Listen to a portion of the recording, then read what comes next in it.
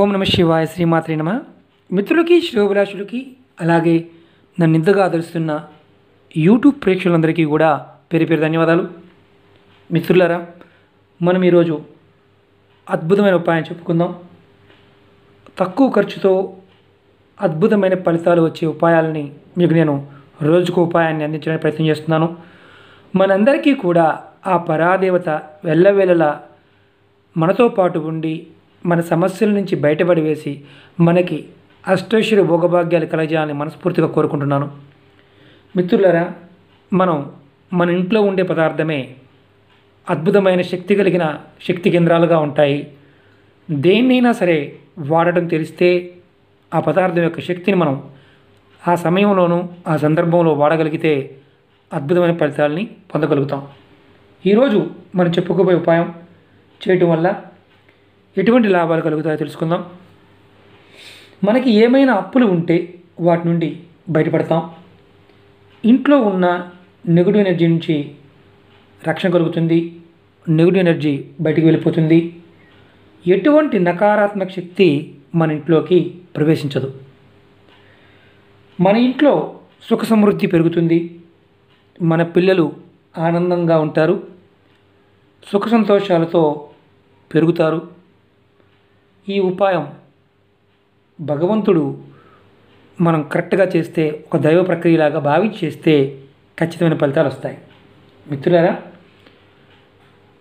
మీకు ఈ వీడియో నచ్చినట్లయితే లైక్ చేయండి నా ఛానల్ సబ్స్క్రైబ్ చేసుకోండి గంట సింబల్ని యాక్టివేట్ చేసుకోండి పది మంది మిత్రులకి షేర్ చేయండి. ఇవి ఖర్చు పెట్టేవి కాదు. అలాగే మీరు నాకు ఇచ్చే డబ్బులు కూడా ఏమీ లేవు. వీటి మీద మనస్ఫూర్తిగా చేయాలి ఇప్పుడు మీకు ఉపాయాన్ని జాగ్రత్తగా వినండి. స్కిప్ చేయకుండా చూడండి. స్కిప్ చేస్తే ఈ ఉపాయాలు అర్థం కావు. ఇవి ఎందుకంటే పదార్థం. మనం వాడే పదార్థాల్లోనే అద్భుతమైన దైవశక్తులు కలిగి ఉంటాయి. మనం ఈ ప్రక్రియకి కావాల్సిన ఉప్పు మిరియాలు అలాగే వేప ఆకులు. మనం సహజంగా పులుపు ఉప్పు ఘాటు వంటి పదార్థాలని వాడుతూ ఉంటాం. నిమ్మకాయలు అమ్మవారికి వేస్తూ ఉంటాం. అలాగే దిష్టికి ఉప్పును వాడుతూ ఉంటాం. మిరియాలు దేవతా పదార్థాలకు వాడుతూ ఉంటాం. యజ్ఞాగాదుల్లో వాడుతూ ఉంటాం. ఉప్పును కూడా వాడుతూ ఉంటాం. వేపాకు గురించి మీ అందరికీ బాగా తెలుసు. నిమ్మకాయ ఉప్పు మిర్చి లాంటి పదార్థాలు మనం వీటిని దిష్టి తీయడానికి చెడు దృష్టి నుంచి రక్షణ పొందడానికి వాడుతూ ఉంటాం. నల్ల మిరియాలు వీటిల్లో అంటే ఈ పదార్థాల్లో రాజు లాంటిది. ఎందుకంటే నల్ల మిరియాలకి అద్భుతమైన శక్తి ఉంటుంది. అంతకుముందు వీడియోలో కూడా మనం నల్ల మిరియాల గురించి చెప్పుకున్నాం. ఎటువంటి సమస్య నుంచి అయినా సరే బయటపడాలనుకున్నప్పుడు మిరియాలకి ఆ శక్తి ఉంటుంది. కరెక్ట్గా వాడగలిగితే రామబాణంలా పనిచేస్తుంది. మీకు ఎప్పుడైనా సరే నజర్ అంటాం అంటే దృష్టి దోషం లేదా మనల్ని ఏదైనా దుష్టశక్తి ఆవహించిందంటే భూత ప్రేత పిచాచాలు ఆవహించాయని అనుకున్నప్పుడు తంత్రమంత్ర ప్రయోగాలు ఇబ్బంది పడుతూ ఉన్నా ఇంట్లో అశాంతి ఏర్పడి ఎప్పుడు ఏదో సమస్య ఇబ్బంది పెడుతూ ఉన్న నర్ర నల్ల మిరియాలతో వాటిని విధి విధానంగా వాడితే ఇలాంటి సమస్యల నుంచి బయటపడవచ్చు. ఈ ఉపాయాన్ని తెలుసుకుందాం. ఈ కల్లుపు చూస్తున్నారు కదా మీరు కల్లుపు తీసుకోవాలి న తొమ్మిది మిరియాలు తీసుకోవాలి నల్ల మిరియాలు తీసుకోవాలి అలాగే తొమ్మిది వేపాకులు తీసుకోవాలి. ఒకటి రెండు రెండు మూడు నాలుగు ఐదు ఆరు ఏడు ఎనిమిది తొమ్మిది. తొమ్మిది వేపాకులు తీసుకోవాలి. ఇది ఎప్పుడు చేయాలంటే శుక్లపక్షం మంగళవారం నాడు ఉదయం ఆరు దగ్గర నుంచి మధ్యాహ్నం పన్నెండులోపు చేయాలి. అంటే ఏమాత్రం ఆరుకు ముందు కానీ పన్నెండు తర్వాత చేస్తే పనిచేయదు. శుక్లపక్షం అంటే మనకి అనుమానం వస్తుంది. అంటే మనకి నెలపొడుపు దగ్గర నుంచి పౌర్ణమి వరకు ఉన్నదాన్ని శుక్లపక్షం అంటారు. ఈ శుక్లపక్షంలోనే చేయాలి. శుక్లపక్ష మంగళవారం నాడు ఈ ఉపాయాన్ని చేయాలి. అది కూడా మొదలు పెట్టవలసిన టైం ఆరు నుంచి మధ్యాహ్నం పన్నెండు గంటల మధ్యలో చేసుకోవాలి. ఇది ఏం చేయాలంటే మీ పూజా మందిరంలో ఒక స్టీల్ డబ్బాలో కానీ లేదంటే ప్లాస్టిక్ దాంట్లో కానీ కొంచెం ఉప్పు తీసుకోండి. కళ్ళు ఉప్పు దొడ్డు ఉప్పు. చూస్తున్నారు కదా? దీన్ని మన లోకల్ భాషలో రకరకాల పేరుతో పిలుస్తూ ఉంటాం. కళ్ళు ఉప్పు కానీ దొడ్డు ఉప్పు కానీ రాతుప్పు అంటూ ఉంటాం. మన ఏదైతే భాషలో పిలుచుకుంటూ ఉంటాం. దాన్ని బట్టి మనం వాడుకోవచ్చు. ఈ ఉప్పుని తీసుకోండి. ఇలా బౌల్లో పోసుకోండి. మీ పూజా మందిరంలో స్నానం చేసి కూర్చోండి. ఈ ఉపాయం నెలసరి ఉన్నప్పుడు మాత్రం చేయమాకండి. నెలసరి ఒంట్లో నెలసరి ఉన్నా కానీ మైలు ఉన్నా కానీ చేయమాకండి. మిగతా ఏదైనా చేసుకోవచ్చు. అంటే ఎవరైనా చనిపోయి ఉన్నప్పుడు చేయకూడదు. పదిహేను రోజుల తర్వాత ఎవరైనా చేసుకోవచ్చు. చనిపోయిన పదిహేను రోజుల తర్వాత పెద్ద కర్మ పూర్తయిన తర్వాత ఎవరైనా చేసుకోవచ్చు ఈ ఉపాయాన్ని. అలాగే ఈ ఉపాయం చేస్తున్నప్పుడు ఎవరికైనా అంటే ఆ రోజు నెలసరి ఉంటే మాత్రం చేయవద్దు. మనం ఈ ఉప్పుని తీసుకొని స్నానం చేసిన తర్వాత పూజా మందిరంలో కూర్చొని మంగళవారం శుక్లపక్షం మంగళవారం ఉదయం ఆరు నుంచి పన్నెండు గంటల మధ్య ప్రాంతం ఇలా ఉప్పును చక్కగా ప్లేట్లో వేసి మీ ఇష్ట దైవానికి దీపం వెలిగించి తర్వాత తొమ్మిది మిరియాలు తీసుకోండి. చూడండి ఎలా చేస్తున్నాను చూడండి. ఫస్ట్ మధ్యలో ఒక మిరియం పెట్టండి.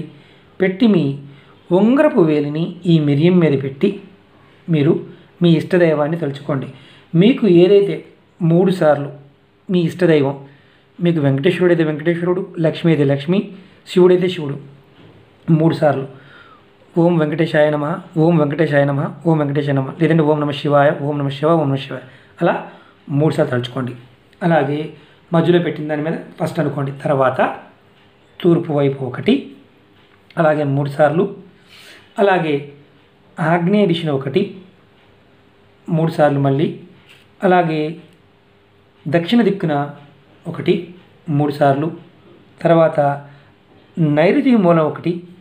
అలాగే మూడుసార్లు అనుకోవడం అలాగే పడమర దిక్కున ఒకటి మూడుసార్లు అనుకోవడం తర్వాత మీరు వాయువున ఒకటి మూడుసార్లు అనుకోవడం అలాగే ఉత్తరమున ఒకటి తర్వాత సేమ్ అలాగే మూడు సార్లు ఇష్టదేవం తలుచుకోవడం ఈశాన్యాన్ని ఒకటి. మనం ఇలా వచ్చాం. ఇప్పుడు ఒకటి ఒకటి రెండు మూడు నాలుగు ఐదు ఆరు ఏడు ఎనిమిది తొమ్మిది. తొమ్మిది మిరియాలు. ఇప్పుడు ఏం చేయాలంటే తర్వాత మనం మూడు సార్లు ఇలా మన ఉంగర వేలు పెట్టి పెట్టిన తర్వాత ఓం నమ శివాయ కానీ మన ఇష్టదైవాన్ని మన కులదైవాన్ని అనుకున్నాం. తర్వాత ఈ వేపాకులు తీసుకోండి. తీసుకొని ముందు ఏం చేస్తారంటే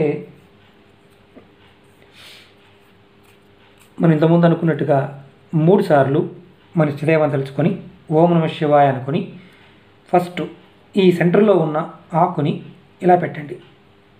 ఈ కొన ఆకు మొదలు కిందకు ఉండాలి కొన పైకి ఉండాలి మరియు వైపు ఉండాలి అలాగే మూడు సార్లు మళ్ళీ ఆకుని మన ఇష్టదైవం తలుచుకొని ఈ కొన నుంచి ఇలా పెట్టాలి. అంటే ఫస్ట్ పెట్టిన మిరియం ఉంది కదా మధ్యలో పెట్టాం తర్వాత తూర్పుని పెట్టాం తర్వాత ఆగ్నేయ మూలకి. అలాగే మూడు సార్లు మళ్ళీ ఇష్టదేవాన్ని తలుచుకొని ఈ కొనని ఇక్కడి నుంచి ఈ మిరియం మీద పెట్టాలి. అలాగే మళ్ళీ ఇష్టదేవాన్ని తలుచుకొని మూడుసార్లు మనం ఈ కొన నుంచి ఇలా పెట్టాలి. మళ్ళీ అలాగే మూడు సార్లు ఇష్టదేవాన్ని తలుచుకొని సేమ్ అలాగే ఈ కొన మాత్రం ఈ చివర ఆని ఉండాలి. తర్వాత మళ్ళీ మూడు సార్లు తలుచుకొని ఇష్టదేవాన్ని తలుచుకొని మళ్ళీ మనం ఇలా పెట్టాలి. అలాగే ఈ ఆకును కూడా రౌండ్గా పెట్టాలి.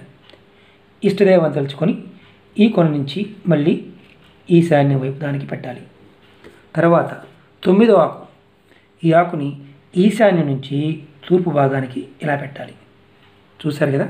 ఇలా ఆకులు ఆకును కూడా మూడుసార్లు మన ఇష్టదేవం తలుచుకొని పెట్టాలి.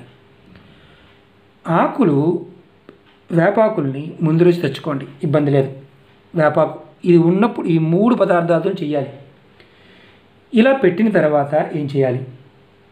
మనం ఈ పదార్థాన్ని ఈ గిన్నెని మన పూజా మందిరంలో కానీ మనం పూజ చేసుకునే అలమరలో కానీ ఒకవేళ మనం పటాలు పెట్టి చేసుకుంటాం కదా ఆ ప్రదేశంలో ఖాళీ ఉన్నప్పుడు ర్యాక్లో కానీ పూజా మందిరంలో కానీ పెట్టండి. అర్థమైంది కదా? మీరు పెడుతున్నప్పుడు మీకు ఏదైతే సమస్య ఉందో ఇలా చేతితో పట్టుకొని ఆ సమస్య అనుకొని మీ కులదైవానికి కానీ మీ ఇష్టదైవానికి అనుకొని ఈ బౌల్ని ఇలా పెట్టేయండి?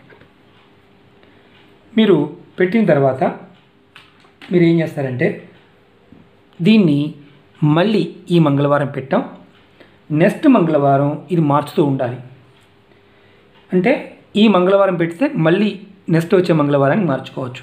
ఫస్ట్ స్టార్ట్ చేయడం మాత్రం శుక్లపక్షంలో మంగళవారం నాడు ఉదయం ఆరు నుంచి పన్నెండు గంటల మధ్యలో స్టార్ట్ చేయాలి. తర్వాత మంగళవారానికి ఎలాంటి కృష్ణపక్షంలో వచ్చినా ఎలాంటి ఇబ్బంది లేదు.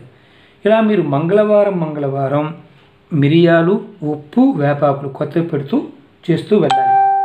ఇలా ఎన్ని రోజులు చేయాలి అని మీకు అనుమానం వస్తుంది. ఇది మీకు మీ ఇంట్లో మార్పు మీ మార్పు వచ్చే వరకు మీరు చేసుకోవచ్చు. ఇది ఖర్చుతో కూడుకున్నది కాదు.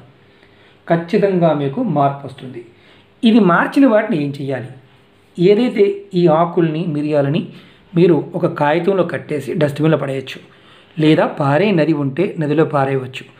లేదా మీకు అవకాశం లేదు అనుకున్నప్పుడు మీ ఇంటి దగ్గర ఏదైనా సరే కుండీ కానీ పెద్ద చెట్టు ఉంటే దాని మొదల్లో వేసేయవచ్చు. ఉప్పును మాత్రం మీరు నీళ్ళల్లో కలిపేసి మీ కిచెన్ షింకులో పోసేయండి. షింకులో పోసేయండి.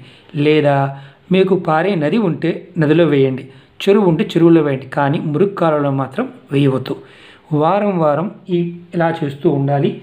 సేమ్ ఇదే ప్రొసీజర్. అంటే అమ్మవారు తలుచుకోవడం మూడు సార్లు మన వంగరకు వేలు పెట్టి తలుచుకోవడం చేస్తూ ఉండాలి.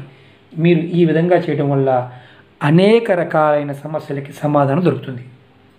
మీ ఇంట్లో సుఖ సంతోషాలు పెరుగుతాయి. అప్పుల నుంచి బయటపడతారు. పిల్లలు ఆరోగ్యంగా ఉంటారు. చదువులు వస్తాయి. దిష్టి దోషాలు నరదోషాలు ఇలాంటివన్నీ పోతాయి. ఒకటి గుర్తుంచుకోండి. ఈ ఉపాయం మనకు పనిచేయాలంటే మన సాధనా బలం అలాగే ఈ వస్తువుల యొక్క శక్తి అలాగే మన ప్రార్థనా బలం అలాగే ఈశ్వరుని యొక్క కృప మన మీద ప్రభావం చూపించి మనకంతా మంచి జరుగుతుంది. ఈ ప్రయోగాన్ని ఆడవారైన మగవారైన చేయవచ్చు. ఈ ప్రయోగం పర్టికులర్గా ఏంటంటే మన యొక్క అప్పుల బాధలు లాంటివి ఆర్థిక సమస్యలు లాంటివి తొలగిపోతాయి. రాబోయే రోజుల్లో డబ్బు ఖర్చు కాకుండా మరిన్ని ఉపయోగాలు మన పెద్దలు చెప్పినవి ఋషులు చెప్పినవి గ్రంథాల్లో ఉన్నవి తాంత్రిక మాంత్రిక గ్రంథాల్లో ఉన్నవి మనం ఆచరించగలిగే ఉపాయాలను మీకు చెప్పడానికి ప్రయత్నం చేస్తాను. మీకు ఈ వీడియో నచ్చినట్టు లైక్ చేయండి షేర్ చేయండి పది మంది మిత్రులకి షేర్ చేయండి అలాగే గంట సింబల్ని యాక్టివేట్ చేసుకోండి. మిత్రులారు ఒకటే చెప్తున్నాను ఎన్నో ఉపాయాలు నాలుగు వందల ఉపాయాల పైన చెప్పాను. మీరు అందరూ అన్ని ఉపాయాలు చేయలేరు. మీకు చేసుకు మీ మనస్సుకి ఈజీగా అనిపించేది చేయగలిగే ఉపాయాన్ని చేసుకోవచ్చు. అప్పుల మీద దగ్గర దగ్గరగా ఒక నలభై ఉపాయాలు చెప్పుకుంటాను. మీరు ప్రయత్నం చేయండి. ఇవి నమ్మి చేస్తే ఫలితాలు మనకు అనుకూలంగా వస్తాయి. పదార్థంలో ఉన్న శక్తి. ఎందుకంటే ఖాళీగా ఉన్నారు కదా. ఇంటర్నెట్ నిండా చాలా గ్రంథాలు ఉన్నాయి. పురాణాల్లో కూడా వేదాల్లో కూడా చాలా చిన్న చిన్న ఉపాయాలు ఉన్నాయి. ప్రయత్నం చేయండి. మన ఇష్టదైవాన్ని మన కులదైవాన్ని ఎప్పుడు నమ్మండి. మనసులో జపం చేయండి. సమస్యల నుంచి బయటపడడానికి మార్గాలు తెలుస్తాయి. ఓం నమ శివాయ శ్రీమాత్రే నమః.